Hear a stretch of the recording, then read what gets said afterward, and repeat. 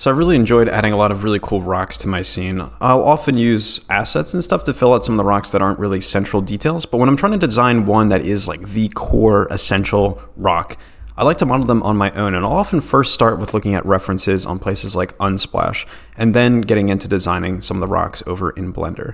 I'm going to kind of speed through some of this design process just because it's a little bit boring, frankly, to watch me sculpting over and over. But I wanted to talk about some really important things to keep in mind as you go through and design your own rocks.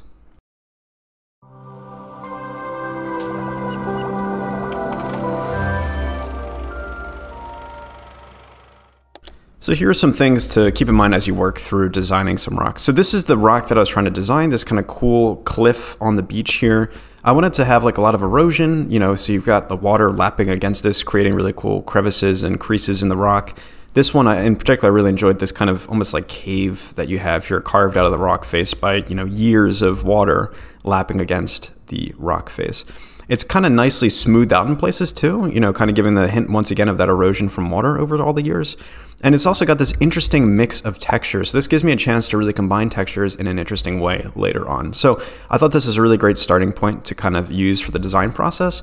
And as I get into this, I first start by keeping things uh, you know, very true to real world. I did a lot more research. I kind of picked out some other rocks and stuff to look at too, just to see how you know the rocks are sculpted in real life. And you know, I have a background as well in geology, uh, so kind of tapped into some of the field expeditions I've done before to look up some rocks as inspiration. And I'll often go back to the real world examples quite a bit as I'm designing things and working through in Blender. Whenever I start out in Blender, I always keep things very simple first, just blocking out rough shapes with uh, primitives. I'll often start with just the default cube and duplicate it a couple times and kind of, you know, pull different edges or points, vertices up to kind of match roughly the shape I'm going for. It looks incredibly jagged, but that is fine because we're going to be adding some extra geometry to it in just a second. Once you've blocked out your shape, you can go over to the tab uh, over here that's in your object data properties.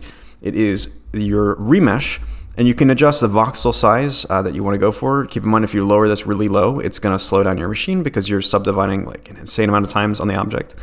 But once you actually do that remeshing, you'll have a lot more geometry to work with when you're going over to sculpting. So when you're sculpting, one of the first things I like to do is actually smooth out some of those really hard seams. Like, so if I go back a page, you can see there's some pretty tough seams as I've kind of merged some of these cubes together. So I often go through and just kind of blend those out using the clay brush. That's kind of one of my favorite ones to use.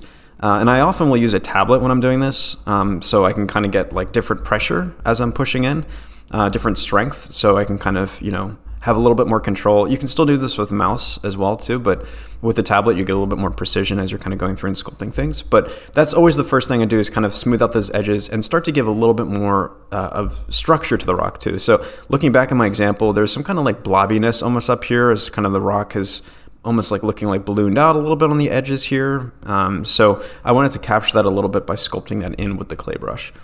Once I kind of have a rough shape, I'll go back through and add a lot more detail, particularly with brushes, uh, these rock brushes and things that you can use to add in a lot more micro detail. And I'll talk about some of these rock brushes in a second. Um, I seem to have lost the slide where I've referenced this, but it's linked in the description, the brushes I've used to actually add in all these little rocky details. And for this one in particular, I wanted to use this as a challenge to add in a mix of textures to really add some extra realism to this. So you can kind of see places that maybe more water has been hitting over the years or maybe more exposed to the sun over the years just based on how the rock is directionally um, set to the sun. So some parts are getting more baked than others and kind of changing color over the years. Uh, so I wanted to capture that by combining a couple textures. And I used some free textures from cc0textures.com. And the model that I actually created here is available for Patreon subscribers in the description, so check that out as well. All right, so let's see this process in action here in Blender. And again, I've sped through a lot of this just because the process is quite repetitive as I'm just kind of going back and forth, brushing different parts, adding detail into places. But as I mentioned, here's the process of just blocking the scene out using a couple cubes to kind of frame up the general shape of this rock. Once again, I was referencing the image from Unsplash as I kind of got the design for this.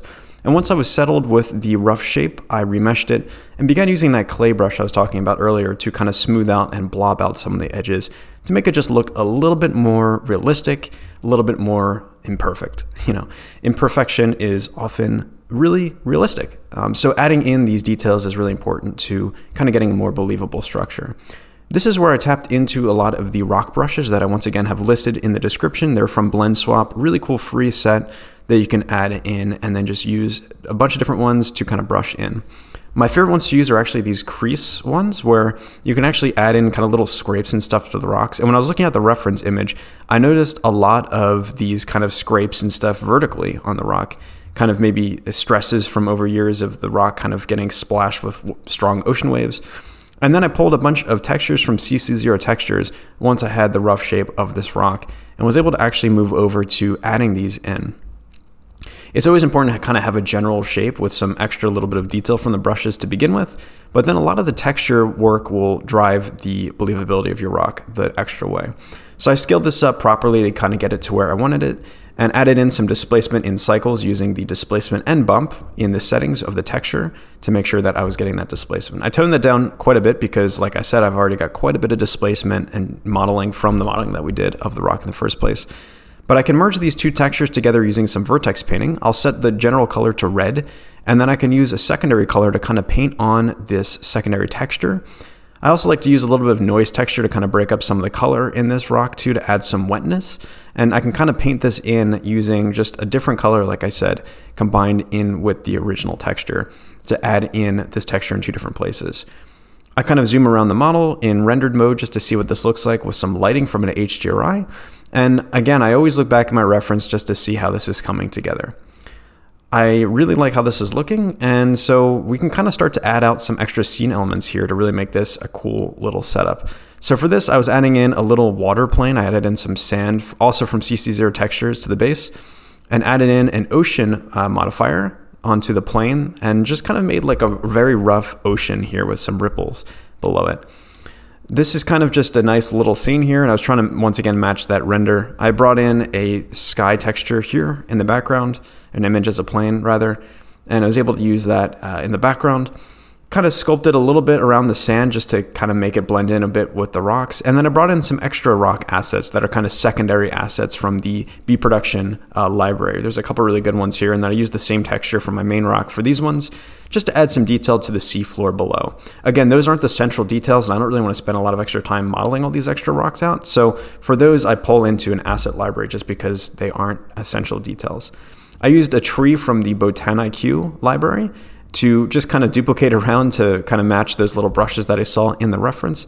And this is pretty much the final image. So I hope you enjoyed this tutorial and I can't wait to see what kind of rocks you put together. Catch you on the next one.